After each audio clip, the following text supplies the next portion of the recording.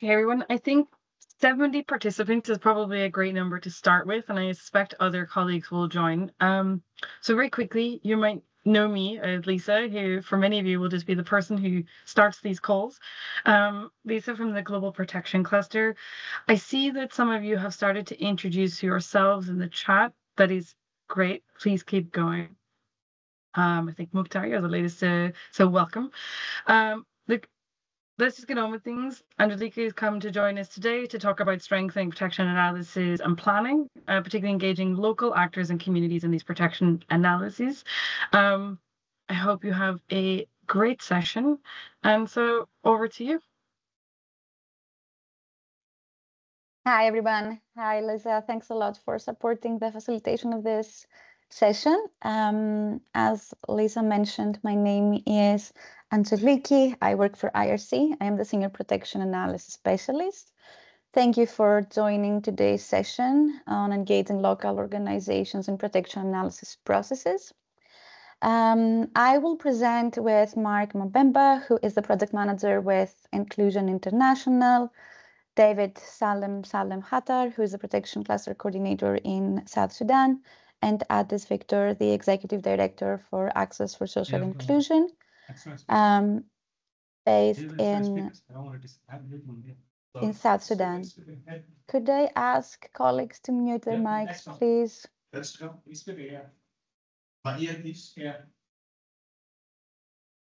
Colleagues, can you please mute your mics? Thank you. Thanks a lot. Okay, um, so I would like to quickly go through the agenda items for today's session.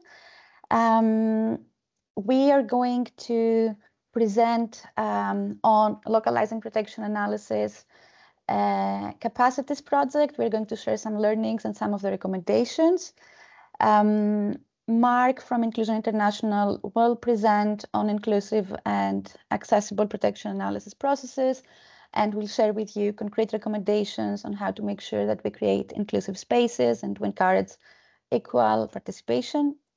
Uh, and then we're going to hear from David and Adis on concrete examples, good practices from um, the engagement of local actors and actors with this working with people with disabilities in South Sudan during the drafting of the thematic PAU last year. Uh, we're going to close with a session on um, Q&As and reflections from your side. And I would really like to encourage you all to share your feedback, your inputs, your comments, uh, even questions in the chat or at the end of the session. Uh, I might not be able to follow like the chat while I present, but I will get back to you shortly after the session if any of your questions haven't been um, answered. Um, okay, moving on with the objectives uh, of the session. So the objectives of our session today focus on meaningful engagement of local actors and their communities in analysis processes at the cluster level, but beyond the cluster as well. Uh, during the session, we want to better understand challenges and gaps related to the engagement of local actors in protection analysis processes, we would like to share with you and introduce the resources we have developed to enable um, local organizations to meaningfully participate and contribute to protection analysis. Um, we'd like to share some concrete um, uh, actions and way forward when it comes to um, protection analysis, inclusiveness, and accessibility, especially for uh, organizations working with people with disabilities and uh, organizations working with other marginalized groups. Um, and we want to share good practices and learnings from South Sudan and reflect on how we can integrate some of these recommendations in the HPC uh, process. Uh, most importantly, this is a space to reflect on common challenges and really brainstorm on collective actions, taking into consideration operational gaps and bottlenecks so we could encourage uh, active um, participation and interaction. So we really want to hear from you. Um, feel free to, to share your experiences, but also feel free to question us. And um, I really wish we have like a, a, meaningful and fruitful conversation, which will uh, help us uh, take collective actions and improve protection analysis uh, processes. So why are we having this session and uh, what drove us here? Uh, over the last years, significant progress has been made by international organizations and coordination fora to use evidence-based uh, programming to support critical decision-making in humanitarian responses. Although protection risk analysis and the use of the protection analysis framework has played a significant role in shaping priorities and understanding the protection environment, and one of the great examples is the um, drafting of the protection analysis updates and the efforts to ensure harmonization of practices and use of the findings to inform HNO and HRP processes. However, at the same time, um, very often the role of local actors and their unique understanding of risks uh, and available capacities at community level is overlooked.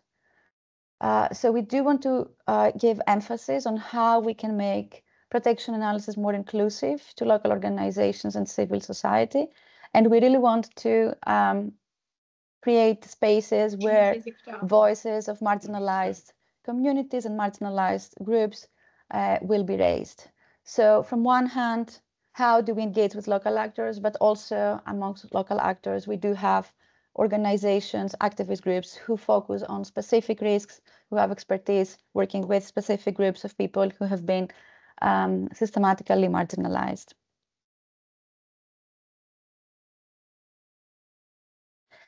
Therefore, and as part of the Sida-funded project, Localizing Protection Analysis Capacities for Impact, IRC worked in coordination with other organizations and in particular Inclusion International Uh, and a broader network of international and local actors to share learnings and recommendations and focus on good practices on how to effectively include and utilize the knowledge and expertise of local organizations in protection analysis processes in order to interpret contextual nuances, strengthen views and priorities of affected communities, and to represent groups of people who have been marginalized from decision making.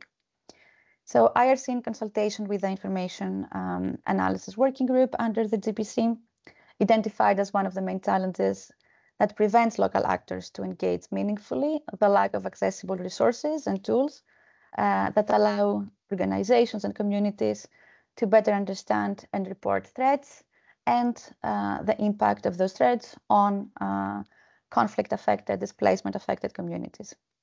So between 2022 and 2024, March 2024, Sida funded IRC to work on ensuring that protection analysis is based on contextual uh, knowledge and expertise, and that existing resources, such as the protection analysis framework, um, are accessible to diverse audience and frontline staff who have uh, a very important role to play in the analysis processes. Given that frontline staff often come from affected communities and they are very close to the communities themselves, uh, they have a better understanding of risks, uh, they have a better understanding of priorities, they have a better understanding of available capacities at local and community level. So the project targeted uh, South Sudan, Nigeria, and Northeast Syria, and focused on building local capacities, skills, and knowledge, uh, and um, encouraging local contributions to protection analysis, uh, as well as encouraging meaningful participation in decision making when it comes to uh, prevention and response strategies at, uh, at cluster level, uh, as well at, as at community and, and local level. And this led us to the PAF adaptation process, the protection analysis framework adaptation process. So how we worked, um, so building on the protection analysis framework, um, in uh, 2023, IRC partnered with Inclusion International, and through a series of outreach activities, we established an advisory group of 10 local and representative organizations coming from a diverse um, background and expertise, including organizations of people with disabilities, women and refugee-led organizations, LGBTIQ plus activist groups, and organizations working with elderly people. So our first objective was to invite local actors and create an inclusive and accessible spa space, and then uh, encourage them and allow them to lead the development of the resources. So they really needed to feel empowered as part of this process and also guide us through what was needed, what was the priority, and how the resources that we had um, published and they have been endorsed by the Global Protection Cluster, the PAF, uh, was accessible and inclusive and could actually be used by frontline staff, local actors, communities in a meaningful manner. So the local advisory group had a clear TOR and a work plan that was co-developed, co-designed by the members of the group. And it has been adjusted during the project to accommodate members' needs and priorities. So the members of the group worked uh, for a period of over six months. Uh, they assessed uh, existing protection risk analysis resources, uh, mainly the protection analysis framework and a number of other um, resources that we have developed. Uh, they developed criteria to adjust the resources and worked on necessary adaptations throughout various channels. So IRC and Inclusion International facilitated a series of core uh, workshops. However, local actors worked in smaller groups, uh, online and offline, and interacted in various forms and occasions. Uh, obviously, one of the biggest challenges was the language barrier as we engaged with colleagues from different language backgrounds, um, in particular Arabic and English. So we um, uh, made sure that there is interpretation available and translation of different resource packages. Uh, however, um, translation of resources and feedback was also facilitated and supported by other members of the group who spoke both languages and undertook uh, that role to support uh, communication and easy access for, for other colleagues. So based on the um, consultations we had with the local advisory group, uh, a number of different like recommendations um, and sessions we hold with uh, the information analysis working group, as well as based on feedback and recommendations from the PAF Lessons Learned event. Uh, we focus on the adaptation of the protection analysis framework package uh, and we used four main criteria uh, to look at the resources. So we looked at accessibility issues, we looked at inclusion issues, we looked at the relevance of the framework and the usability. How uh, user-friendly basically the framework and the resource package is for local and representative actors. Uh, so the adapted resources addressed issues around conceptual clarity. So we reviewed um, the glossary, we elaborated on the terminology, we simplified the language, uh, we used the different icons uh, to give concrete examples or to further explain and simplify some of the concepts, uh, as well as some of, some of the protection risks, the threats, the vulnerabilities, and the capacities. So we extensively used the card deck. So for those who are familiar with the protection analysis framework training package, there is um, a card deck with specific icons used to explain what we mean by the PAF pillars and sub-pillars. Uh, and then we also uh, applied the PAF onto concrete examples, and we tried to initiate protection analysis based on two scenarios, uh, explaining the different steps of the protection analysis uh, process. So the resources target uh, protection and non-protection actors, and they are available in three languages, English, French, and Arabic. They can be used to facilitate introductory trainings, explain the different steps of the protection analysis process, uh, and introduce key analytical questions in line with the PAF pillars, which can be used by actors for like data collection, but also to uh, for the to map the information landscape and better understand what are the information gaps in order to structure uh, their their analysis. Uh, so we have a PowerPoint presentation. We have the PAF uh, simplified version, if you want. Uh, and in addition to those resources, uh, with um, guidance by Inclusion International, we have also developed a list of recommendations to ensure that protection analysis spaces are inclusive to people with intellectual disabilities, uh, which has been identified as a significant gap as there are no other resources or concrete examples uh, which create inclusive spaces for people with intellectual disabilities and allow them to meaningfully participate in uh, risk analysis. So the aim of the final uh, projects is to support local capacities for effective and inclusive protection analysis at national and local level and guide the creation of inclusive and more representative participation of local actors.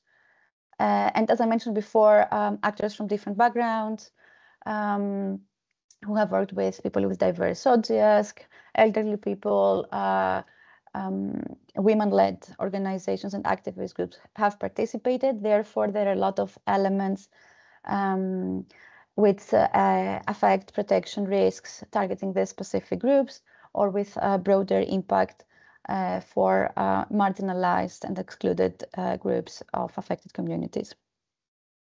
So the resources were developed and they have been shared with a broader group of actors for feedback. Uh, and as I mentioned before, they have been translated in Arabic and French, uh, and they, they are available for uh, further dissemination. We have already developed a dissemination plan, and some of you might have already received the resources, the resource packets, but we are very happy to share as part of the of this thematic session uh, together with the, the presentation. So apart from the resources, um, uh, one of the achievements of this project was also the creation of the network of local actors. So we managed to bring together a network of local organizations from different uh, groups and ask them to work together towards a common goal. So we tested different modalities and ways of working and we supported members in order to ensure that the virtual space we created is accessible to everyone. Uh, so everyone had the space to contribute and participate. Um, and the way we achieved that was through clear information on expectations, having very clear work plans, uh, TORs, um, uh, following a very inclusive and consultative process, uh, asking actors to be involved since the very beginning of the design uh, of the PAF adaptation process.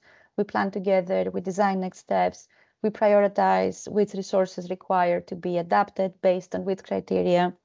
Uh, and then we also ask local actors to lead this process. Uh, so from, uh, from our side, we had dedicated funding to compensate for their time and effort, uh, but we also managed to um, uh, offer some additional um, reasonable accommodations. We made sure that IRC offices in country operations were accessible and open for um, members who wanted to access the IRC offices and work from there. We made sure that reliable internet connections were available. So we really tried um, to accommodate different needs. So you can see on the slide feedback we received from uh, the actors who engage in this process. Uh, there are some elements which are quite important uh, to us, including the feelings of um, empowerment and inclusion, the fact that learning and multi-country experiences have a positive outcome. Um, colleagues from different uh, backgrounds, different contexts, they came together and they really shared and enriched their experiences by sharing learnings, challenges, gaps, but also um, uh, jointly brainstorming around uh, actions and way, ways forward. So by sharing this feedback, feedback, we really want to flag the direction that we would like to take uh, and think of strategies and actions which are, serve into cross-learning, local actors empowerment, and analysis based on local knowledge, expertise, and uh, and priorities coming from the communities coming from local organizations. Um, as part of the learning process, we have mapped a series of challenges and gaps that we would like to share with you. Uh, this is the result of consultations with our country programs, IRC partner organizations, local and representative actors. um, as well as other uh, international organizations uh, during the information analysis working group, but also other bilateral conversations we had with protection actors who engage in protection analysis initiatives. Um, so we have tried to group uh, and summarize some of the challenges, and then uh, this is followed by a list of recommendations we want to, to share. So there is a need for conceptual clarity and understanding of the protection analysis framework uh, use and the protection analysis as an ongoing process, which can feed into different system-wide initiatives, including the HNO, the HRPs. Um, protection analysis framework is quite heavy. It's um, technically difficult. Uh, for some colleagues, it's challenging when it comes to uh, its use by local and national actors. And that refers mostly to the language, the language which is used. It's quite technical. The format um, is a bit complicated sometimes, the iconography, etc which is something that we have tried to address with the adapted resources. So protection analysis is a time-consuming and resource-intensive process, which discards local actors from engaging in a meaningful manner. Um, not all organizations have the same level of skills, capacities, understanding, including technical skills and capacities, and information management uh, skills. Joint analysis processes um, are increasing. However, they do remain quite centralized, and usually local actors um, are only part of the data collection process, um, and they rarely engage in the actual analysis of the information, the triangulation of the findings, the validation uh, of the um, of the conclusions, and the development of the recommendations and the actions. Uh, based on these identified challenges and gaps, we have tried to put together a list of recommendations.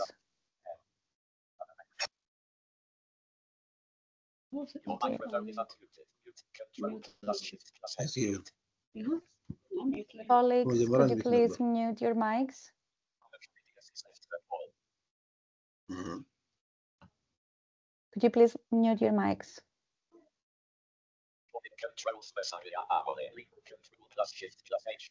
Clickable shared content. You may not mark your be enabled to it if you'd like to share video. I will.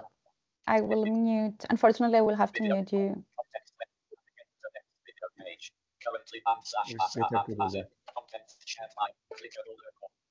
Close some people in this chat are outside your org.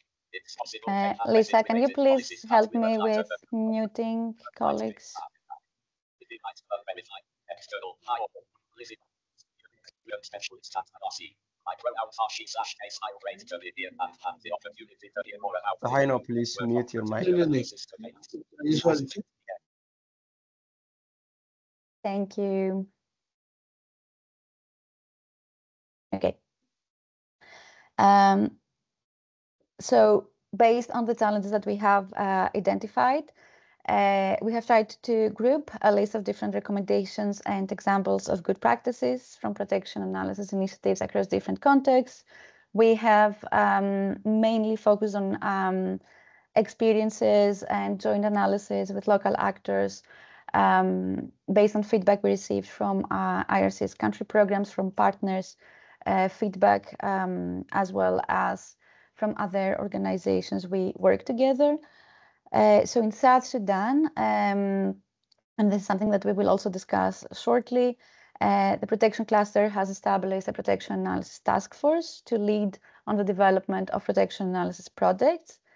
Uh, and there was a clear engagement of local organizations and uh, organizations working with people with disabilities.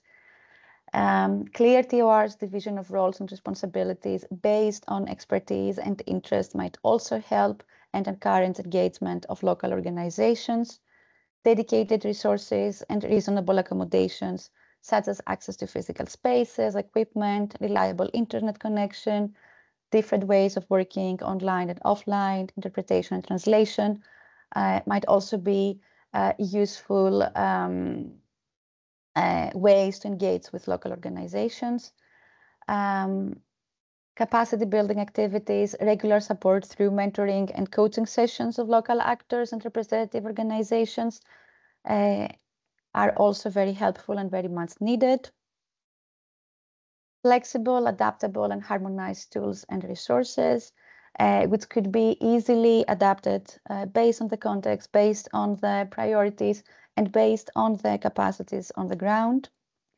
Uh, planning of joint analysis sessions in advance, engaging local actors from the very beginning of the process, uh, as well as organizations of workshops on risk prioritization and validation of findings involving local organizations at field level and then sharing um, input comments at national level uh, and also creation of uh, spaces for regular cross-learning led by local, local organizations to come up with suggestions with good examples and share good practices um, across different contexts. Hello.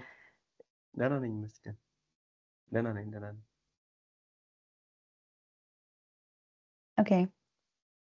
So we would like to share some good examples uh, of how these recommendations could be incorporated in the protection analysis process leading to the HNO.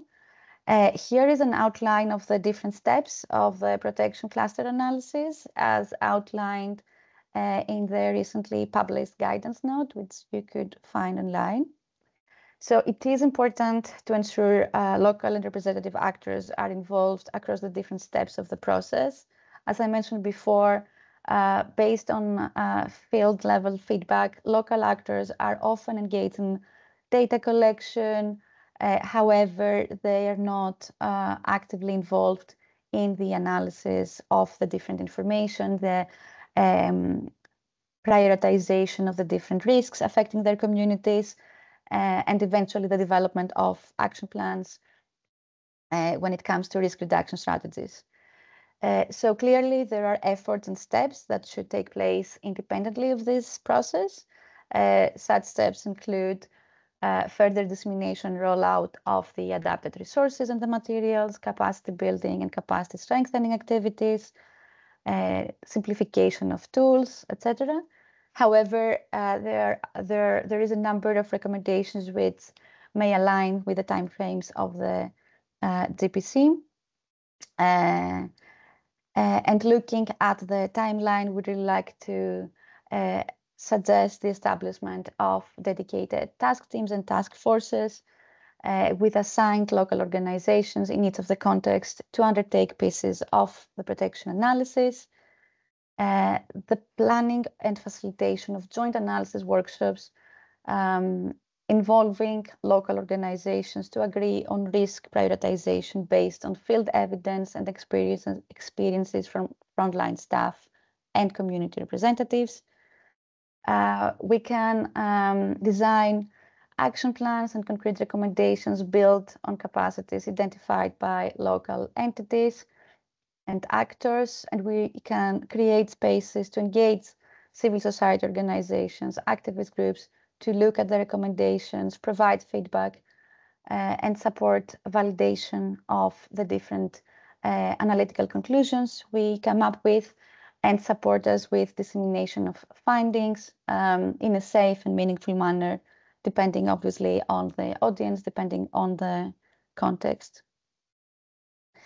Uh, so based on the above, uh, I would really like to ask for your feedback and input. So we uh, are going to share with you a Mentimeter. So I'm going to put in the chat the Mentimeter details.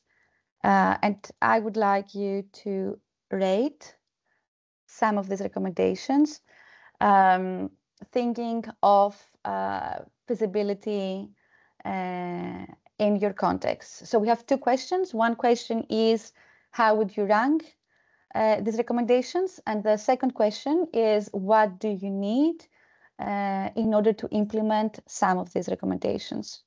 So I will try to share the results. In the meantime, I hope you all have access to the Mentimeter. You can use the code I just um, put in the chat. So it's 63 86 29 07. And I'm going to share my screen. So this is the question. Just give me a second.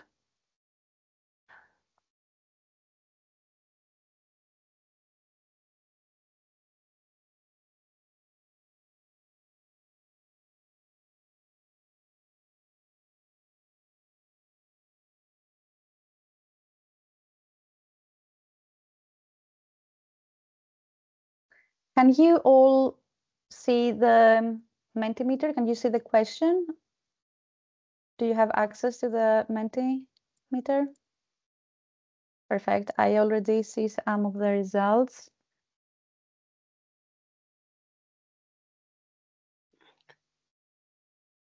Okay. Perfect. I hope this works. Great. So I can wait for some more like feedback from your side. Please feel free to rank the recommendations based on your experiences, based on what's feasible, what makes sense.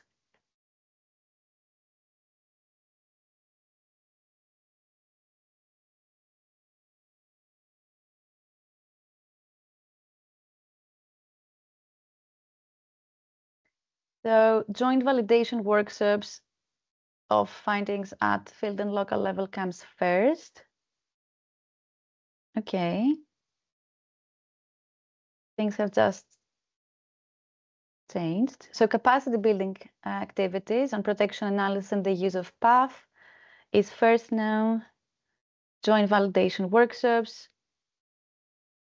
identification of protection analysis focal points, protection analysis task teams is now fourth, joint reflection sessions, and joint risk prioritization workshops comes last. Okay, a few more minutes because the the charts keep changing, which is quite interesting.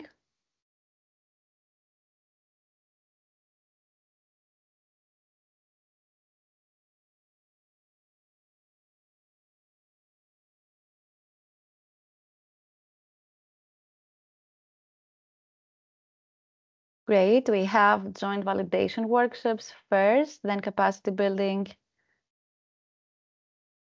The establishment of protection analysis task teams has now moved to the third uh, position, fourth. Okay, perfect. Please keep uh, ranking, keep sending and sharing feedback.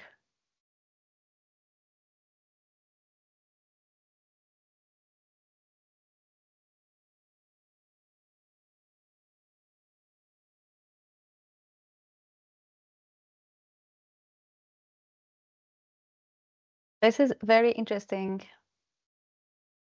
Okay, in the interest of time, I think we can move to the next question, but the Menti will be open for the next few days. So please feel free to come back to to the to the Mentimeter and share your um, your inputs. So as of now, we have capacity building activities um, being ranked as the first kind of like recommendation, which is feasible and relevant, uh, establishment of protection analysis task teams, joint validation workshops, uh, identification of protection analysis focal points. Okay, things that keep changing. Super interesting. Uh, let's discuss this ranking uh, during the Q&A session. So I would like to move to the next question, what do you need? So from your uh, side as um, protection cluster coordinators, co-coordinators, protection actors, local organization, what is needed in order to implement uh, some of these recommendations in your context?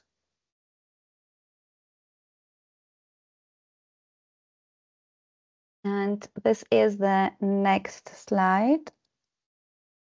Sorry.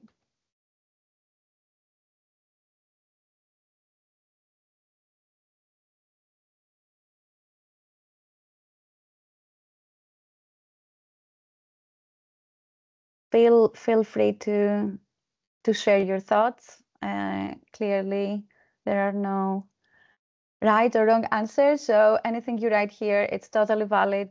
Uh, and we just want to create a space to reflect and brainstorm together, but also um, get inspired by by your um, opinions, thoughts, good examples, good practices. Great. So I see guidelines, training resources, technical support for analysis process, session plans for workshops, leadership from local organization, a shift in mindset. It's always the first step. Time, funding, clearly. Key groups to include, excellent.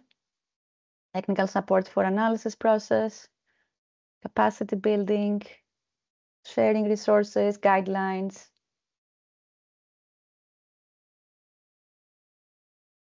Technical support.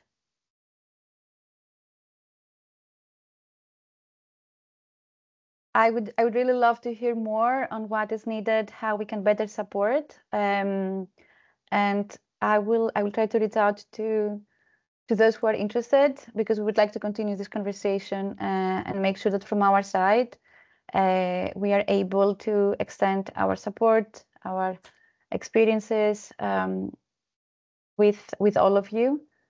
Um, thanks a lot for your feedback uh, and would like to move on with our next presenter. So I will give the floor to Mark and I will mute my mic. So Mark, over to you. What is it in English? Mark,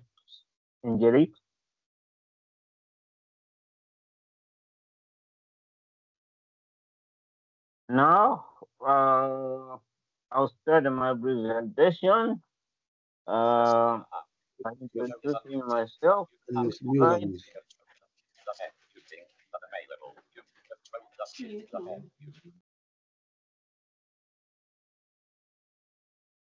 Next slide.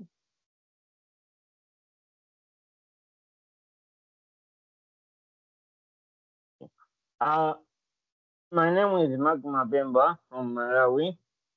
I'm a project manager uh, at Inclusion International, and also I'm a self-advocate, a person with uh, intellectual disability. Who are we? Inclusion International is the international network of people with intellectual disabilities and their families. We have members in every region of the world. We have small and big members, local, local, national, and regional organizations. Our full member organization of people with disabilities, and all our members are committed to inclusion and work on the lives of people with intellectual disabilities and their fam- families. Next. Now, what do you mean by inclusion? People with intellectual disabilities are treated equally and respected for who they are in their families and in their communities. Barriers are uh, removed so we can all take part in all community life. Everyone has the control over their life and can have choices and make their own decisions. Everyone can use the mainstream services. Any services which are separated or segregated, like special schools, day centers, or sheltered workshops, are not inclusive. We believe that no one is too disabled to take part or to be included. Next. So, what do we do? One, advocacy. making sure a voice and the experiences of people with intellectual disabilities are heard at places where decisions are made, like at the United Nations. We give direct support to members through programs and projects, advice and shared learning. And lastly, we bring our members together to share their experience and work on key issues.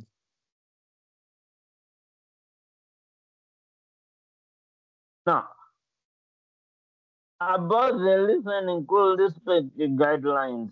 Listen include respect is a set of guidelines and tools for organizations. They help organization organization of all types of types to be more inclusive of people with intellectual disabilities. The guideline include practical advice and checklists to follow. They were created by our members and the members of Down Syndrome International. Next. Who contribute to the listening inclusive respect uh, guidelines? So we had uh, 350 organizations from 100 countries, and more than 1,400 people took part in 60 inclusive consultations. So, for therefore example, this is the how our website of listenincluderespect.com look like when you come on the homepage, where you find the homepage about the uh, inclusive uh, projects and many more. You will find more guidelines on on this website and on this page. So uh, we come up with principles on uh, of listen include respect. So we have belief in inclusion as inclusion international. We believe that inclusion is, is very important. Uh, we have creating opportunities for self advocates, uh, leaders to make sure that they are part of organizations, part of pro- programs, and uh, they, uh, they are they are involved in uh, everyday work, uh, building awareness and understanding, make sure people understand how to include and work with people with disabilities. Uh, we have communication, uh, communicating in accessible way that is make information easy to read, easy to understand. And also we have providing reasonable accommodation when we are working when uh, when we are working or involving people with intellectual disability, we need to understand the uh, the accommodation that they need. Uh, value the process is also very important to check when we are working with uh, people with intellectual disability. Using the convention of the life of person with disabilities is another tool that we use to make sure that when we, we have more understanding when we are working with uh, people with intellectual disability. And lastly, we have understanding that inclusion is a process, it's a journey. We cannot just reach there one by one, but it's a process of learning which slowly people are coming to understand what it means to be to have inclusion in our society, in our organization, and in our programs. Next. Now, how do we use listen include respect in protection analysis work? We worked with the IRC to help them to use listen include respect guidelines and to make protection analysis framework documents more accessible and to understand how to work with organization of people with disabilities. We use the listen include respect guideline to help to make sure that the meetings are run exclusively so that everyone can take part help the group to understand what accessible information is for is for people with intellectual disabilities, review the protection analysis framework documents to make sure they are easy and more useful. And also we create more standalone tools based on the guidelines, a video, and how to checklist. And Angelique can share this with you. Next. Now, why should everyone include included in protection work? Protection analysis must be include everyone. By understanding inclusion and accessibility for people with disabilities, you can assure that people who are generally excluded are included in the in your work. When organized marginalized people are part of your work, you learn more about situation. This will help you to see the whole picture. Next.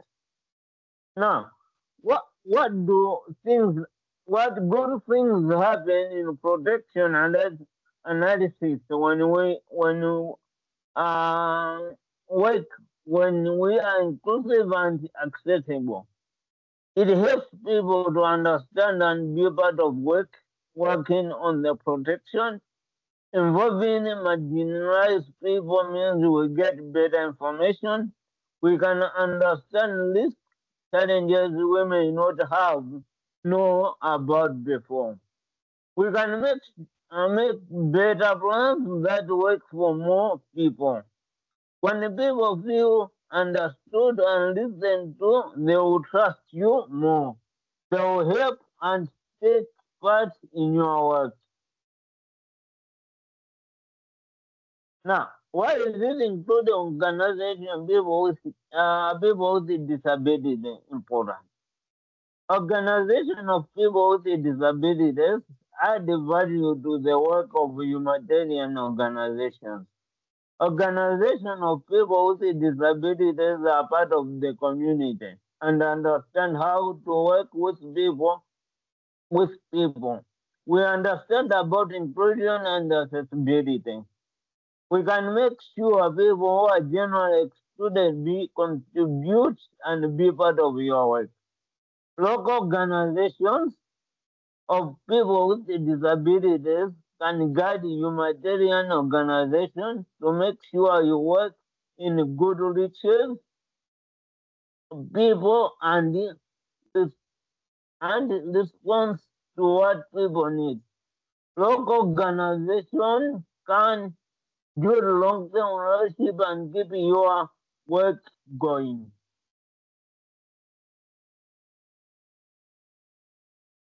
Now, working in partnership.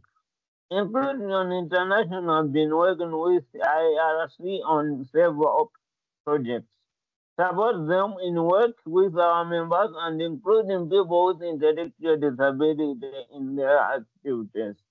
To help us creating this training, IRC has surveyed humanitarian organization and we have consulted with members to find out about their experiences. We have been creating training for members and humanitarian organizations.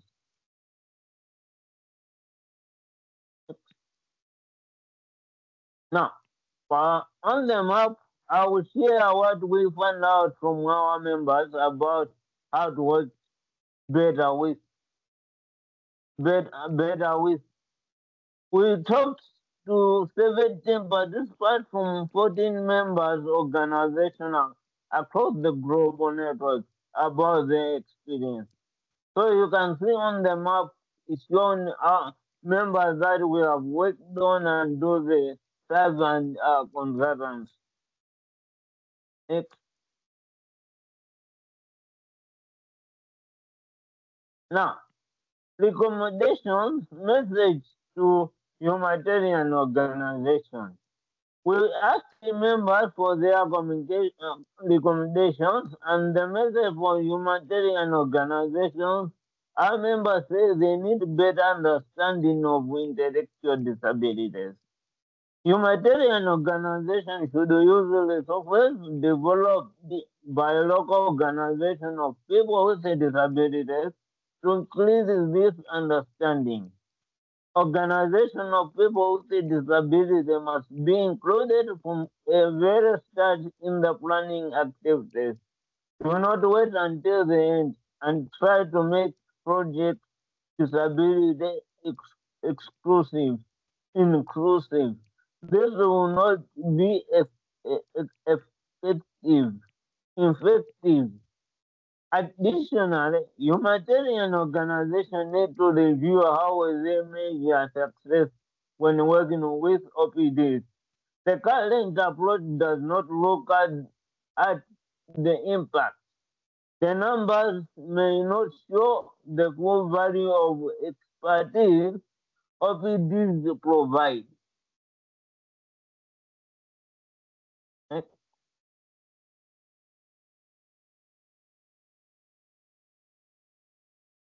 Next.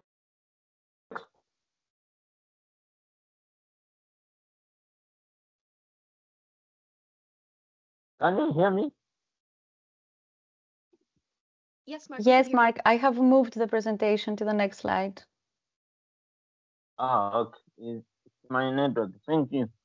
Now, um, recommendation again suggesting training for humanitarian organization.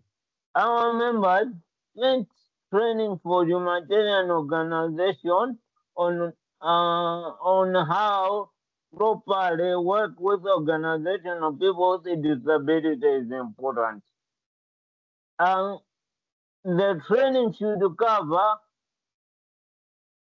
building awareness of intellectual disabilities and how to work inclusively for, for example, using guidelines like listen, including respect. Next. Uh, recommendation, what organization of people with disability need?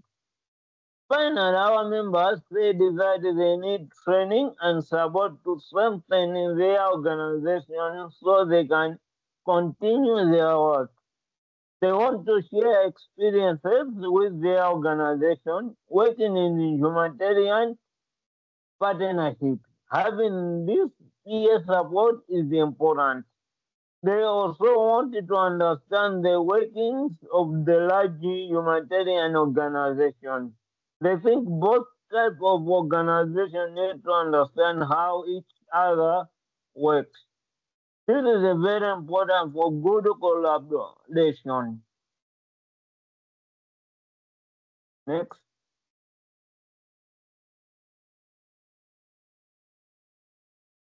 Now, uh, some important steps to know when working on protection work. Follow the listening good respect principles. Plan, uh, plan all the work to be disability inclusive from the start. It is much easier and less expensive than adding and doing things later. Involve, involving new organizations. Talk to different groups of people and uh, include the people who most often get left out. Uh, make it easy. Uh, make it easier to join in. Use simple language. Uh, provide information in different ways, like pictures or audio. Put meetings in the place everyone can get into. And also, uh, use different ways to get information, like doing, don't just use written survey, try a group talk, drawing, or story uh, telling.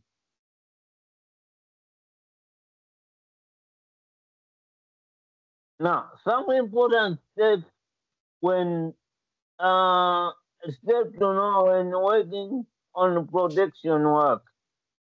Uh, we have training the staff, teach workers how to talk to different groups. Help them understand why including everyone is important. Take the information carefully. Make sure you understand what different groups are saying and look for patterns in what people telling you. Hear what you Yes, Yeah, I thought it's at two, but it started at one. Yeah. what you learn in simple words. Use use clear easy language to tell people what you find out. Make a report that is easy to read and understand. Ask yourself why it cannot be easy so much. Most people prefer Uh, use pictures, simple chat, and or stories to explain this. Ask people feedback. Check if people understand what you're saying. See if they think you got things right. And uh, keep people updated. Tell people what you are doing with the information. Let them know how their ideas are being used. And the main, make your communica- uh, recommendation clear. Explain how your idea will help the different group Show how you listen to what people said. And lastly, be open to change. Be ready to change your plans if people give you new ideas. And uh, that's right. Thank you very much. Uh, that is all I have. You can contact me through my email, and also you can check on Listen Include Respect uh, website and uh, learn more about the guidelines. Thank you very much. Thanks a lot, Mark. Thank you. That was great. Uh, I will share uh, all the resources and the guidelines on the site with you all. Um, I saw a couple of hands. Do you have any questions? Okay. I see a lot of clapping, so thanks a lot for your uh, for your positive feedback. Um, Mark, thank you. Thanks, Kimber, for sharing the contacts.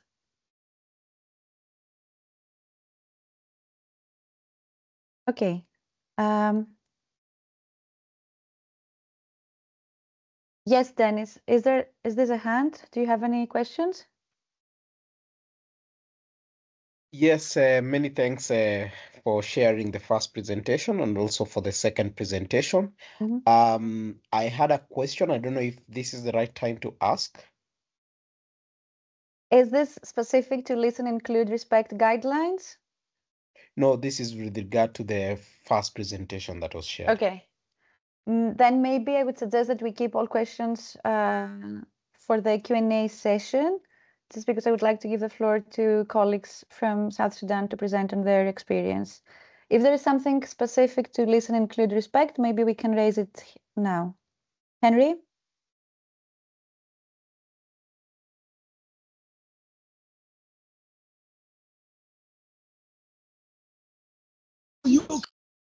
Uh, yes, yes, yes. Hello. Thank you, Anita. Uh, thanks also, Mark, for the presentation. It was lovely. Uh, I only have one question from the perspective of uh, from here, South Sudan. Like, uh, what what are the, the, the intrinsic challenges that people are facing there, dealing with people of uh, disability? Because uh, awareness is always a key. So, apart from that, what are the challenges that you guys are facing, and, and, and, and how you guys dealing with it? So, if, if so if there's anything that we can learn to deal up with here. I don't mind. The natives have them. Thanks, thanks a lot, natives. Henry. I think that this is a this is a great to the water. way to move to our new, next presentation, which is specific to South Sudan, uh, and good examples of engaging local organizations and organizations of people with disabilities. So I will give the floor to David and Addis, who both have extensive experience um, with local engagement and um, engaging organizations of people with disabilities. So over to you, David and Addis. Thank you. Um, just to confirm, can you hear me, colleagues? We can we can hear you. Yes, Perfect. yes. Um, thank you, Yes, Angeliki, and thank you very much, uh, Mark, for that presentation. It was really quite insightful. Um, so my name is David Hattar. I'm the Protection Cluster Coordinator for South Sudan. Um, and I think uh, we, we're here to kind of uh, talk a little bit about the experience that we had um, when we were drafting our protection anal uh, analysis update back in July, I think, of 2023. Um, so you all know the PAF and you all know the PAU, um, and this is something that we're supposed to be on. A, uh, we're supposed to produce on a quarterly basis.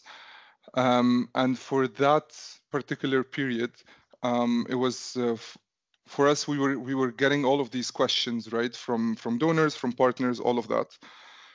Um, so just to to take you through the through the process and how it went uh, and how it became. Um, so what did we know at the time? Uh, we know globally that people with disabilities and elderly are often among the most vulnerable in humanitarian crisis. Um, we also know that during a humanitarian crisis, people with disabilities are often excluded from, relief, from relief efforts. Um, and then we were also getting increased reports um, that um, in cases of active conflict, people with disabilities and the elderly were usually being left behind. So this is this is these were reports that we were receiving from our, from our colleagues in the field, uh, saying that this is uh, like a very big concern for everyone. Um, and as if you don't know, uh, South Sudan has had the protection monitoring system up and running since October 2022. So back in that time, I, I went back and checked. Back at the time, uh, some of the biggest um, protection risks that we had, according to our protection monitoring system, was civil documentation, lack of access to humanitarian assistance, family separation, uh, and gender-based violence. Uh, next slide, please. So that's what we knew. Um, and then when we tried to look into it, we tried to, you know, do our secondary data review. Um, we realized that there is a big gap when we talk about census or data, specifically on people with disabilities, which was making it quite difficult for us to plan. Uh, in fact, I think um, until then, the most recent census that we had was from 2008, and it reportedly said that um, there's only 5% of the population of South Sudan that uh, were living with a disability. What we also knew, and I think everyone knows this, that uh, South Sudan unfortunately suffers from sporadic conflicts here and there. Um, and by default, we know that from a conflict, there are a couple of things that happen that by that would um, increase the number of uh, people that could have a disability. So we know that it increase, uh, increases incidence of injury. We know that uh, conflict disrupts healthcare services.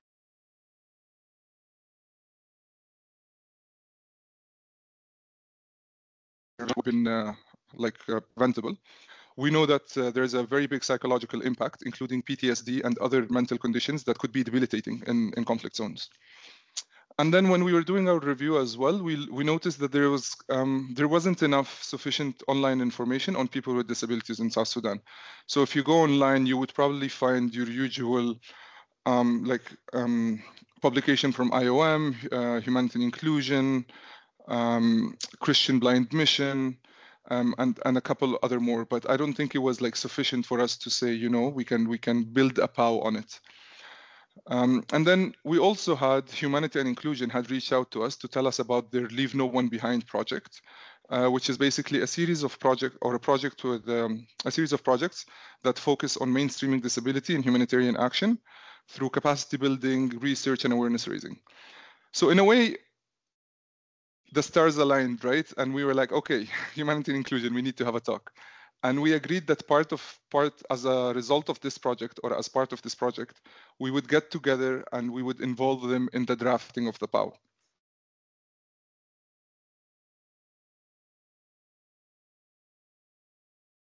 What happened? Uh, did you move to the next slide, Angeliki, please? Yeah, perfect. Thank you. So we met with uh, with HI several times, and they they liked the idea. We liked the idea, and then we started talking and, and trying to understand how how we would go about this. Right now, we hadn't done this previously. Uh, previously, a PAU, the way we drafted our PAUs was we would draft something, we would send it to the AORs or people in the field, and maybe some donor or something for them to give us feedback, and then we would publish it.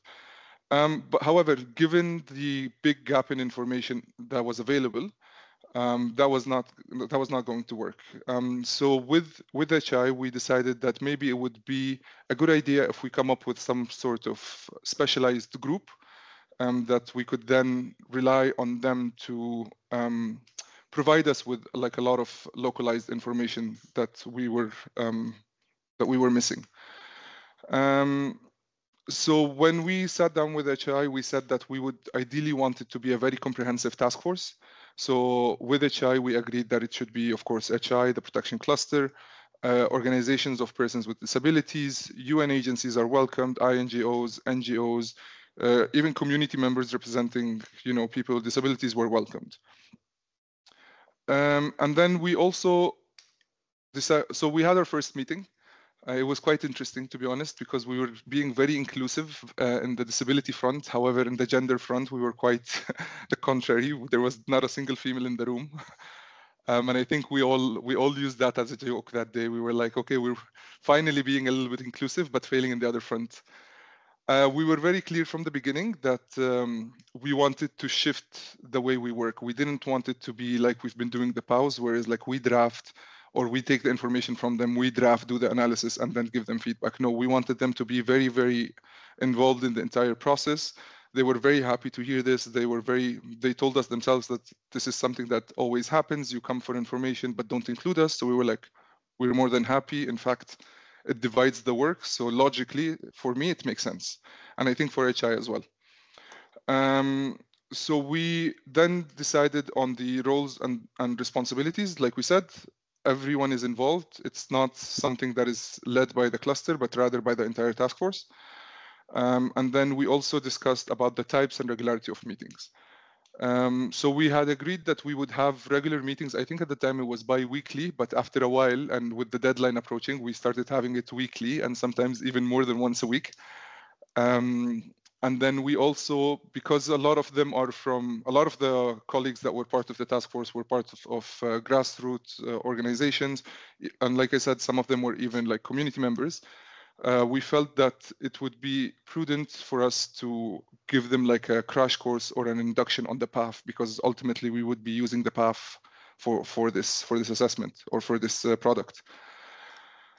Um, so we did the induction, I think, with the with the support of the GPC, which was very helpful. Uh, we did it for like I think two or three sessions. We had the GPC there telling us how the PAF works and everything.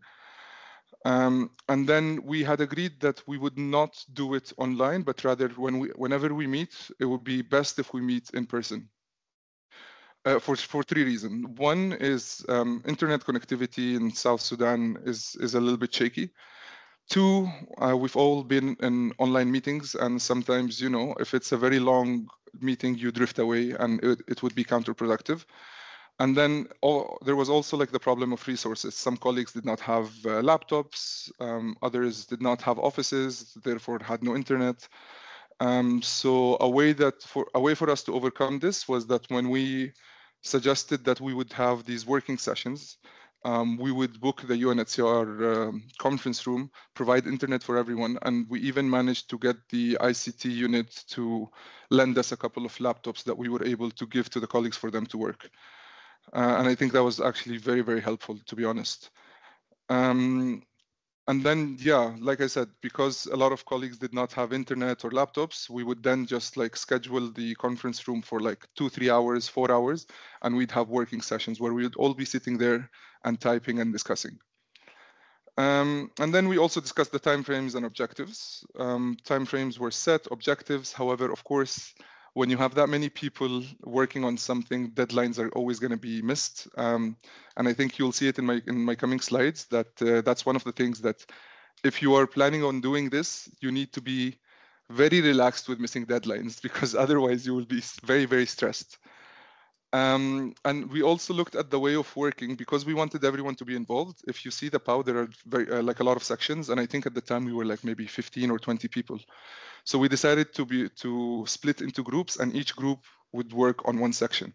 However, because we wanted everyone to be part and everyone to see it and like put their comments, then we would rotate. So we would say, for example, today is Tuesday. By Thursday, you're supposed to finish this section, and then whoever was working on this section, we rotate and you review.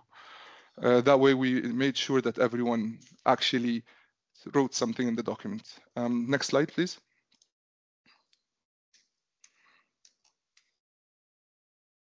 Yes, um, basically. So that was the story on how we did it. I think personally it was quite successful.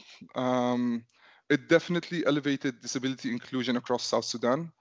Um, the colleagues, um, we were, they were able to participate. They were able to give their honest opinions. If you look at all of the PAUs that South Sudan uh, has produced, that one you would feel that it's more of a personal touch because we have quotes, we have personal experiences, and so forth simply because obviously it was the first time that we do the task force, but also the fact that we didn't have so much data. So we felt like, yes, okay, so if we need to put a quote uh, from a community member, then we will put it. Um, so it does really have that personal touch. Um, so we were able also to elevate disability inclusion in, in South Sudan. We have a group called the Gender Gender and Inclusion Task Team, which is supposed to look at all of at all inclusion, not just gender. Uh, we made sure that uh, disability is now part of it. Uh, the colleagues from, from HI attend and also some other uh, participants from the task force. Uh, we've been able to make sure that there's disability, disability inclusion considerations in programming. So for example, um, the South Sudan Humanitarian Fund. That means that whenever you're writing a proposal for the humanitarian fund, which is a pooled fund, there will be questions on whether there is programming for uh, disability inclusion. Are you targeting people with disabilities? How are you doing it? And so forth. Uh, donors were very happy with this because they hadn't seen anything before, and we got donors to start uh, asking questions. So the Dutch, for example, all of a sudden were reaching out and saying, "Okay, what's happening with disability inclusion?" Uh, they even did a mission to South Sudan, and um, the representative of, of the embassy was very interested in the work that, that was being done, not by us, but by like anyone that's working in disability inclusion. And I think now they're uh, even funding certain people that are working in disability inclusion.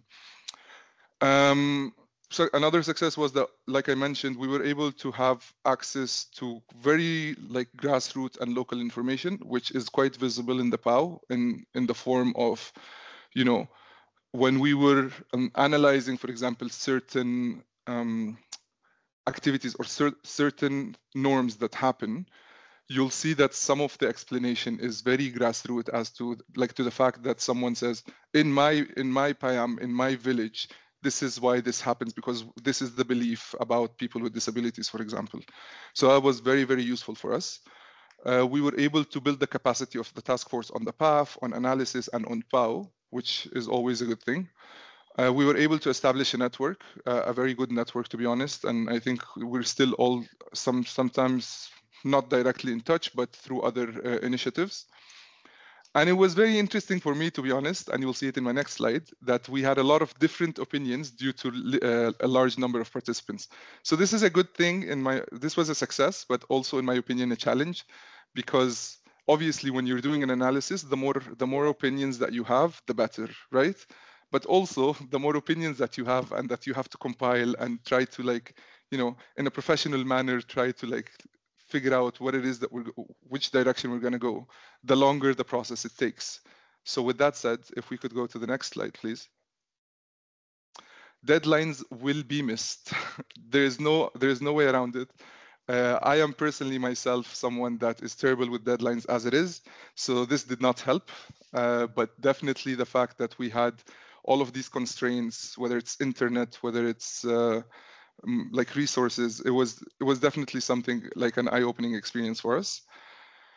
Um, because we were doing these work sessions from UNHCR, uh, uh, some of the colleagues that came from like uh, CBOs or grassroots NGOs didn't. It was very difficult for them to like pay for transportation um, several times.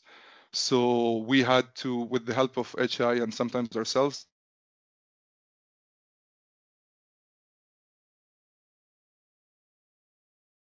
Um, like I said, we provided laptops, internet, and uh, office space for them to work, or like the conference room.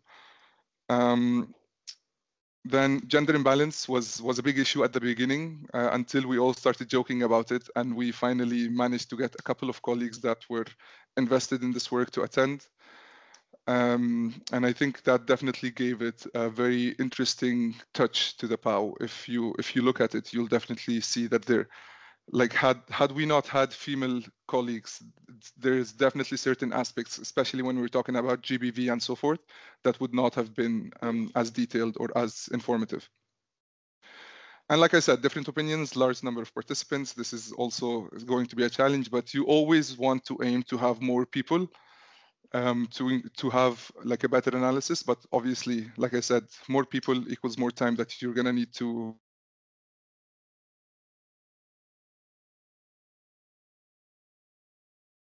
Um, next slide. So this is the picture we took in the, our first session. As you can see, we had one colleague that was joining us from Jordan or Syria on, on the screen. the rest of us uh, were uh, males.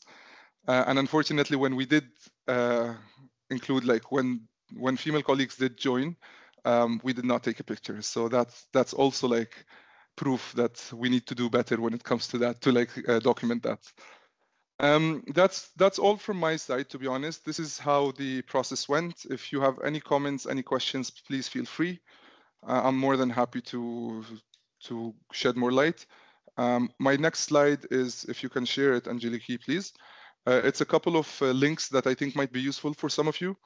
Uh, if you want to see like the reports and updates and assessment that we've done in the cluster, you can click on the second link. If you want to see our five Ws, you can click on the third. Our protection monitoring system on the last one. And if you want to be a, a member of the protection cluster mailing list is the first link. And if you want to reach out to me, that's also my, my Gmail, my email.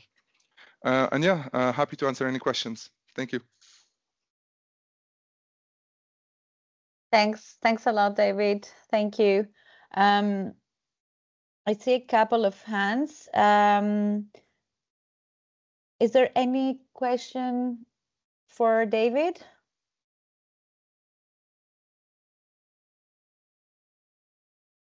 Henry, is this a hand from before or do you have a question?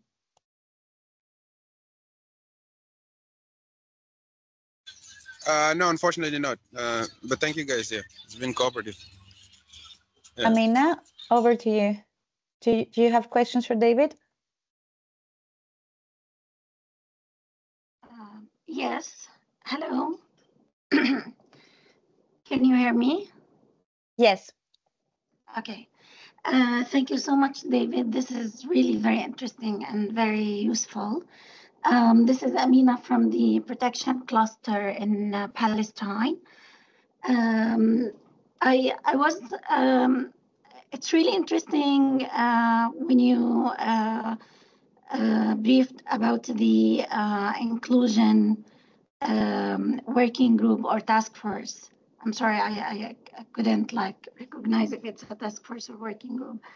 Um, and uh, yeah, it's very important to have all of these uh, cross-cutting themes together rather than having disability and gender and elderly, each one aside or separated from each others. My question is, um, was this working group um, um run by the protection cluster or it was at like intersectoral uh, uh, level uh, is it only for the protection cluster partners to mainstream uh, cross-cutting themes and ensure inclusive response, or it was also to promote outside the uh, protection uh, cluster and protection response? Thank you so much. Um, thank you very much, Amina. That's a very good question. So first, first to answer, it's not a working group. It was a task force that we established specifically for the PAU. Um, to be honest, uh, working with HI, we did not specifically mention that they need to be protection partners. In fact, like I mentioned, some of some of the participants were not even, you know, like working in the sector. They were part of the communities. Um, I will say most of them do work specifically like within a certain aspect with protection, but I'm pretty sure that most of them had other sectoral um, expertise as well. But to be fair, no, we did not specifically uh, ask for protection, and we did not specifically say we would open it up uh, to anyone. Um, so it was run by us. Yes. I hope that answers your question. Yes, thank you so much. Thanks. Perfect. Unless we have other questions, I would like to move with our next presenter, Addis. Oh, Dennis, I see your hand. No, not anymore. Okay, let's move on with our final presenter, and then we will have a dedicated session questions and answers. I would like to apologize in advance because we will go beyond the scheduled time. So I hope that's fine with you, colleagues. Um, we will try to to finish at uh, uh, quarter to the hour. So Addis, over to you. Um, uh, thank you, Angelique, and uh, the colleagues for the presentation. And uh, my name is Addis Victor. Uh, I work as the Executive Director for Access for Social Inclusion. And uh, through your request, Angelique, I would try to squeeze my time to allow my colleague from HI to put some input in my presentation later, which is very important because it has been our commenter to do with inclusion. So I will try to squeeze from my minutes so that I can also give my colleague John Kimani from Humanity and Inclusion to give some few inputs regarding uh, this PAO and the for work. Uh, this is uh, Access for Social Inclusion, being a disability-led organization aimed to advocate for the rights of women, men, and uh, boys with disability. It's a group that has been uh, like uh, neglected and disregarded for their full participation. So ASI is working, implementing programs in South Sudan, especially Yei, Morobo, and Juba, providing inclusive technical support to other organizations and of persons with disability. We also ensure working with the community-led organizations and the volunteers to run our activities so inclusive, but due to lack of resources. Let's go to the next slide.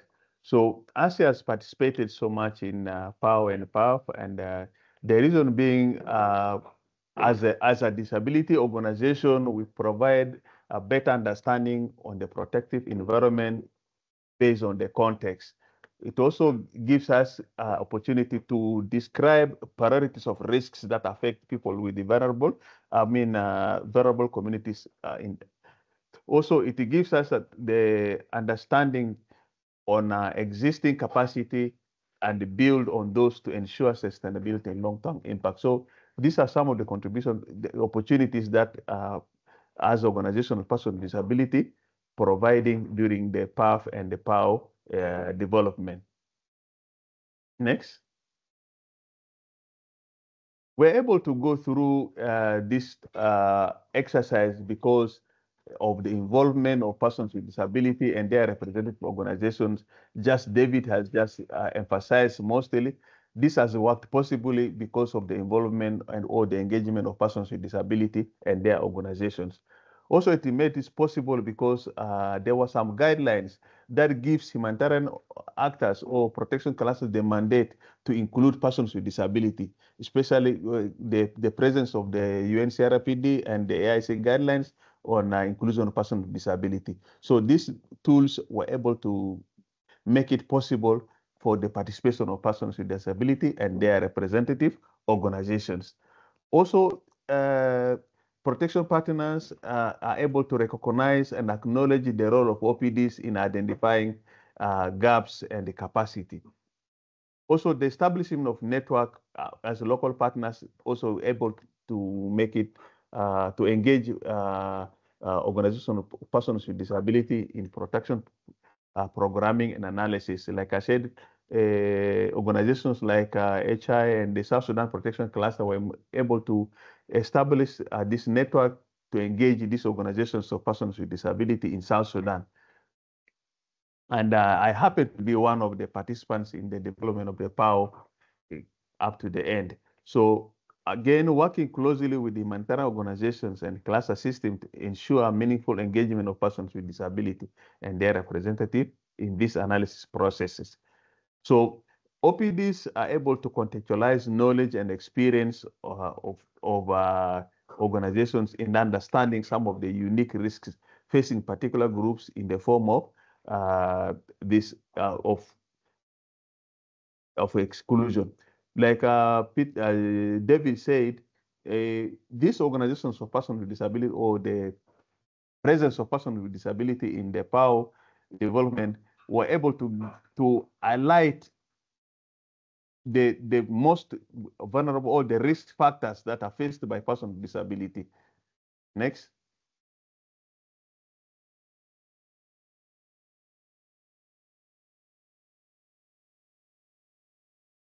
So in our participation, in our engagement, we have identified some gaps or challenges that are still present.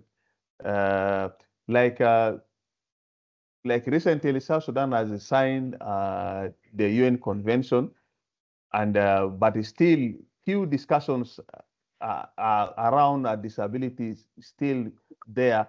So basically, people don't talk much about disability in so many various clusters or in, in the country. So even some of the uh, case management documents does not capture disability in their biodata. So this is still remain a gap and is still a challenge. So absence of active coordination mechanism also to address issues around disability still remain a gap and still a challenge. So in the system, uh, current management do not capture biodata, like I said. Most of our biodata only captures the the gender and the, the the person in particular, uh, things to do regarding uh, disabilities not captured, even the types of disabilities are not captured in the system. So there's a longer process to convince various level of protection leadership to learn uh, also or to adapt in inclusion discussion. So this is still remain a gap which we still identify and we still push together with humanitarian inclusion to ensure that most of our tools uh, capture uh, information on disability.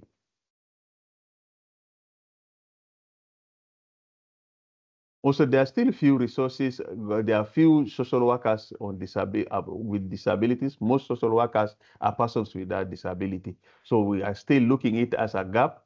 And uh, they see decreased or no funding, especially for disability inclusion and rehabilitation. So we find that most uh, funding just specifically on a particular type of uh, uh, concern or risk, but to do specifically on disability inclusion and rehabilitation remains a challenge or a gap.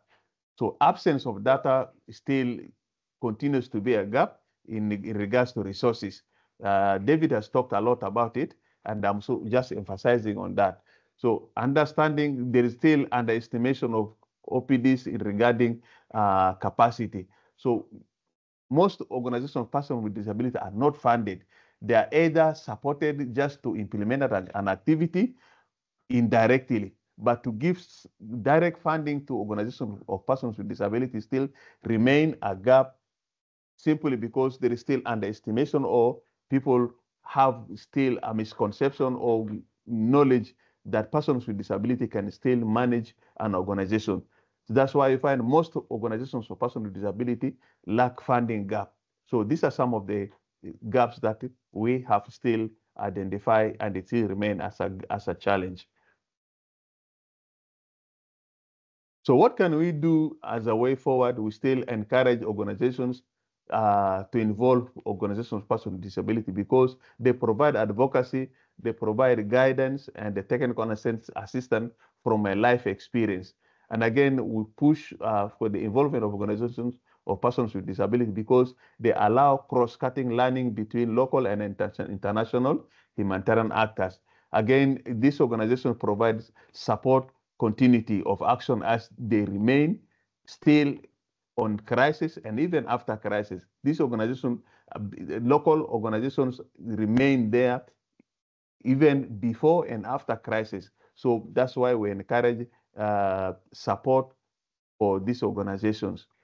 Under partnership, we still encourage uh, protection clusters to work with uh, organizations, persons with disability to realize adaptation of this PAF and also to review documents. One of the important uh, to review documents is that uh, working closely with humanitarian inclusion under this Leave No One Behind project is a, is a tool mapping, which John Kimani will put a little bit uh, emphasis on it to understand it better. Also, we continue to lobby for fundraising together to specify services for persons with disability in order to reduce barriers to increase in independency. So we also encourage uh, strengthening of both uh, state and national actors to include persons with disability in their reporting mechanism. Next. So this is one of our presentation. You can see me there doing a presentation on the tool regarding disaggregation of data. Thank you very much. And I want to give my little time to John Kimani to put some input regarding the tool mapping, how possible it's going to work.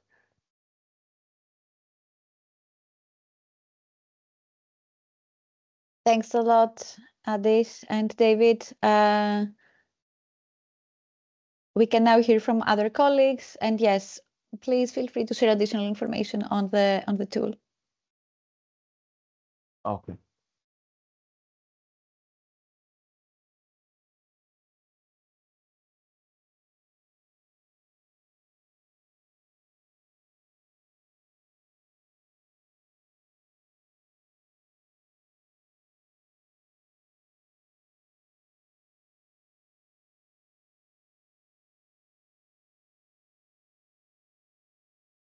Um, is there any additional information with regards to the tool that was developed on disaggregated data uh, from uh, humanity and inclusion? Uh, John seems not to be online, but uh, this we're looking at uh, tool mapping, where we're looking at the assessment tools, uh, case management tools, to look at it, that most of this data, so that, I mean, most of most of these tools to capture information on disability, because uh, we want to we want to look not only on the number of persons with disability, it is important also to know to know to look at the barriers and the possible risks that are encountered by persons with disability, and also to identify and acknowledge their ability and in regards to their capacity. So these are some of the things that are captured in the tool. So it is still uh, a work that is on process that in regards to this disaggregation of data. Thank you. Thanks so much, Adis. Um, colleagues, I would like to open the Q&A session. So I know that you had a few questions that you would like to share with us before. Feel free to raise your hands and we're going to um, dedicate the next 10 to 15 minutes on questions and answers. I see already some comments in the chat. I will share all the slides and the presentations and our contacts with you and also the resources that have been mentioned by colleagues. They will all be available um, to all of you. So over to you for reflections, comments, um, challenges, additional challenges that you would like to share, but also ideas on how we can work together to create inclusive and accessible space, spaces when it comes to protection analysis and how we can encourage uh, active involvement of local organizations in the protection analysis process.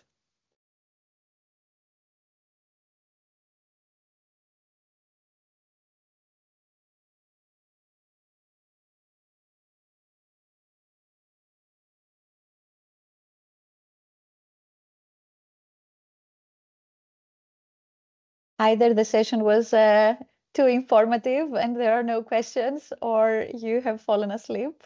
I hope it's the first.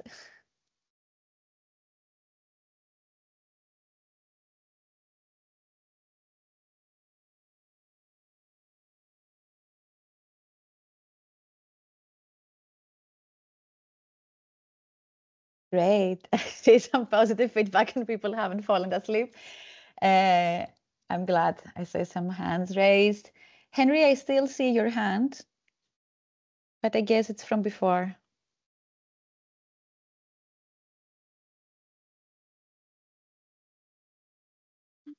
Angeliki, there are a couple of questions on the chat. I don't know if you're seeing this. Um, yes. So let's start with the chat and then we will go to colleagues who raise their hands.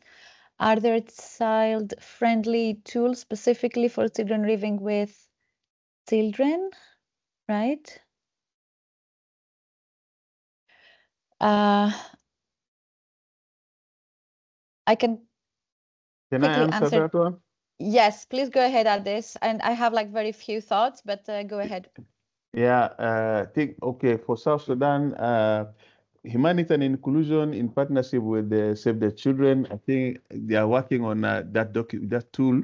Yes, I can say it is there for child protection. So that tool is there, but uh, Humanity and Inclusion and the, the, the and the Save the Children, they are working to revise it so that to make it more disability inclusive.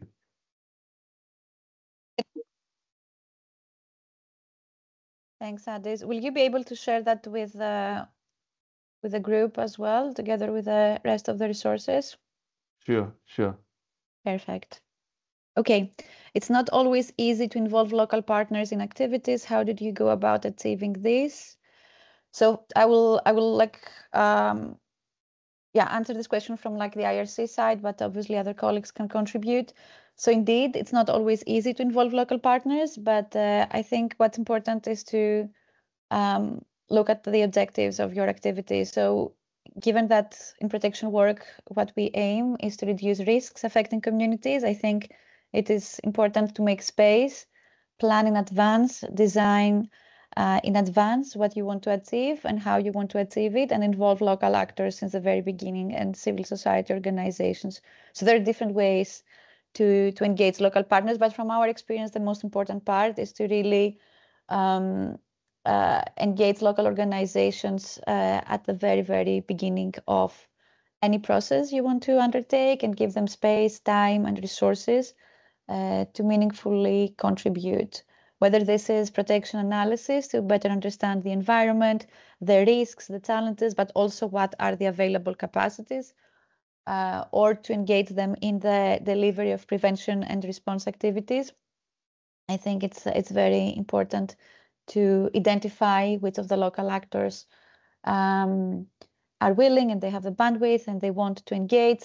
What do they need for meaningful engagement, and how they can actually support the analysis process and the design of the of the response. Um, I will give the David, would you like to answer to this question? Hi. Yes, uh, you- I just want I just wanted to piggyback on what you said. I think I agree with everything you just said, but I think um, colleagues, I think it's also time that we start being like true, um, and and be like real with with what we mean when we say inclusion. Uh, inclusion is deciding to dedicate uh, a certain amount of funds so that you can so that you're able to support those who are unable to come unless you support them financially. We cannot just keep going and saying oh let's include let's include let's include when we're not advocating for example with donors to have like certain specific funds for people working with disabilities. We cannot say let's include when we ourselves are doing all of these projects and we're not like allocating certain funds to like disability inclusion. So i think to answer the colleague who asked the question definitely it was not it was not easy. Um, it was easier than than you would think to be honest because there's always this appetite yes? Um, organizations working with people with disabilities ngos working with people with disabilities will always have the appetite to be included. However the the challenge always will remain um, the resources. So i think from that from that aspect of how to get them together it was very very easy. It all it took was one email and all of a sudden i had like seven eight people in the, in the conference room which was very easy. I think the most difficult part was the the resource allocation which i think needs to come from within needs to come from us and say that right so we know that we want to do this. We need to have some sort of little fund allocated or big fund allocated depending on what you, you're planning to do. I hope this helps. Thank you over Thanks, David. Uh, I think, uh, Gabriel, you're next.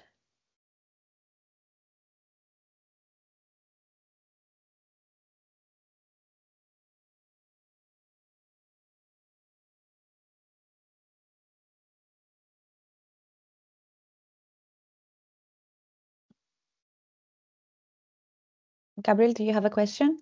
Both Gabriel?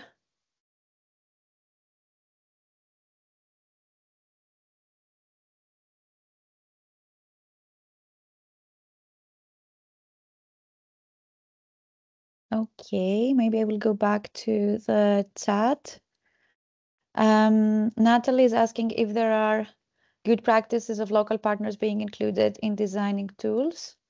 Uh, I can briefly share the experience from IRC. So we established the local advisory group. So we had an extensive process of outreach to identify local partners and local actors who were interested to be engaged in the designing of the resources.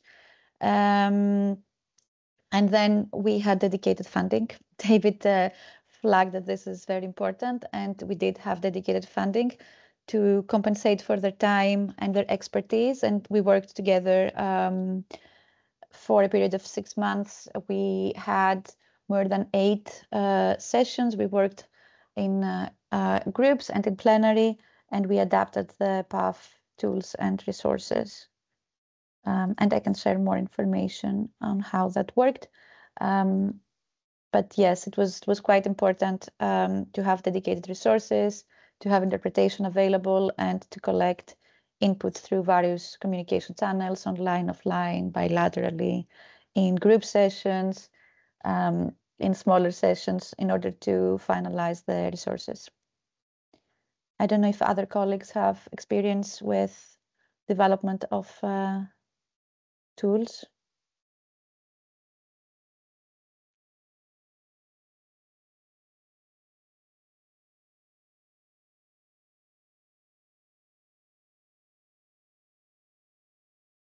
Um, I could add maybe from our side, I think very similar to what you said. Um, we've, I think now for the past year, year, year and a half, we've grown into the habit of we will share it with everyone and everyone just give me your feedback. Again, I think this requires a lot of like, um, what's the word I'm looking for? this requires a lot of you understanding that this is going to take way much more of your time but then we need to think about it in the long run, right? So I said it when when I was presenting about the the PAU task force. We knew it was going to take longer than expected. To give you to give you an idea, we started drafting the PAU in June, um, and usually a PAU will take what three, four, five weeks maximum, like a month. We started drafting in June. We published in October.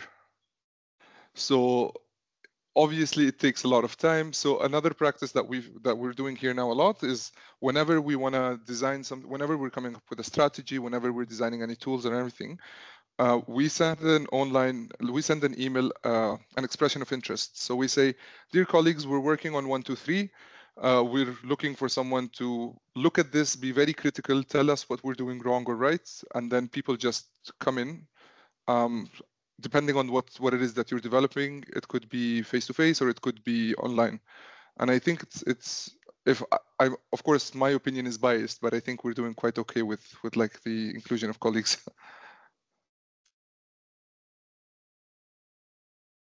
Thank you. Thanks david. Um, i see a question specific to disability. So are people living with albinism considered people living with disabilities or under what categorization do they fall? Uh, I'm not an expert in disability, so if any colleague has the answer to that question, please feel free to share.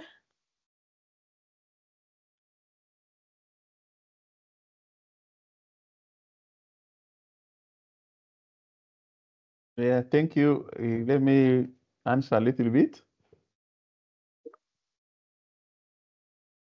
Hello, you're getting me? Yes, Adis, go ahead. Yeah, I think discussions are on, on about uh, people with albinism, but for now, yeah, it had been categorized that persons with albinism are also part of persons with disability because they experience, they're also experiencing discrimination and uh, as a marginalized group. So they are also part of the uh, disab disability. So because part of them also are experiencing multiple disability, especially the, when they experience when it comes to sight, visually, and uh, other challenge. So it has been categorized persons with, I mean, uh, persons with albinism are, yes, they are persons with disability because they are part of the minority group that experience uh, discrimination. Thank you, Adis. And I think there is uh, one more question with like similar similar question. So, are people living with NTDs like elephantiasis considered living with disability? Uh, some some of this disability is as a result of medical condition. Uh, the elephantiasis, this is as a result of medical condition. But uh, what is disability generally? We are looking at uh, whether there are some challenges uh, as a result of that medical condition that obstruct this person from fully participating. But if the person is participating at an equal basis, so we cannot for now categorize as persons with disability this is how I can look at it, unless uh, the, this medical condition has resulted into a major thing that are obstructing this person from participating. So any challenge as a result of that medical condition could be a situation of disability. Thanks a lot, Adis. Um, do we have any other questions? I see some hands coming and going. Yes, David, over to you. It's me, Jada Michael. Uh, I've joined Hi, the Michael. meeting late. Yeah, thank you for giving me this chance. Uh, for me, just I want to talk on uh, especially sustainability for those people with a disability.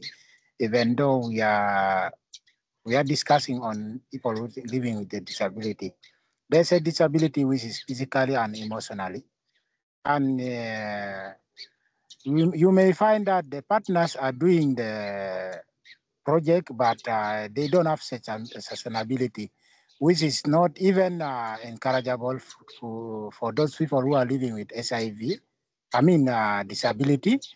Uh, uh, after doing the project, uh, after running the project, then when the project is stopped, there's no any sustainability. That is why it, it may discourage people living with a disability in areas where they are in their location. I mean, uh, for example, even uh, this uh, like uh, SIV people living with the SIV, those are emotionally and they are discriminated in a in the community even uh, to go and get their treatment in the health facility. Uh, at times they will not go, even they will neglect those people. They will even they may see that people are watching at them what are what is happening, because uh, once people know you in the area that you have a SIV, then uh, people may start. Uh, they have a mentality that even though eating together, they will not. Huh? They will start backbiting you. You many things happening. Huh? Which means for us to develop that uh, sustainability, uh, uh, to maintain the project, let the sustainability of that project should be there. The sustainability is the first priority. There's what is called maybe a, a project asset and NGO's asset. After finishing that project, then maybe this uh, project asset will be handed maybe to those of uh, church people or community leaders so that to maintain the what the people with disability in that area where the project has happened and implemented. This is not uh, my just comment on uh, what people have been discussing. As I heard uh, people, they, they talk of uh, uh, like people who living with disability and people who are discriminated in the uh, in the communities. Uh, this is my response. Just thank you. Thanks a lot. Thanks for the comments. Do we have Yeah, uh, other questions? Yes. Uh, I was highlighting something uh, based on uh, we were talking about albinism, and I wanted to put further light on what Adis Victor was saying. Uh, when it comes to albinism, uh, the factor that the fact that uh, uh, we know albinism is always aligned to to to uh, things like visual impairment makes it uh, uh, a disability. But majorly, when you talk about their their disabilities based on that uh, impairment that is associated to it.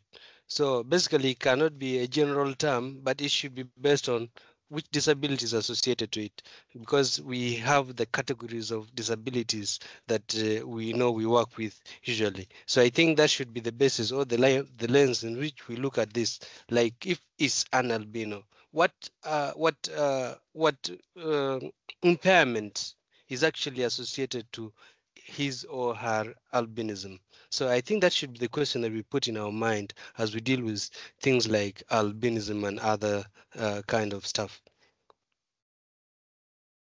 Thank you. And I think that uh, Zainab from uh, um, Nigeria has also mentioned the Washington Group questions, where basically it refers exactly to what you mentioned, David. Um, really associate uh, the condition with the, um, uh, the impairment. Uh, okay, colleagues, I think that we are already uh, 20 minutes beyond the allocated time. So I would like to close the session here. If you have more questions, please feel free to share in the chat.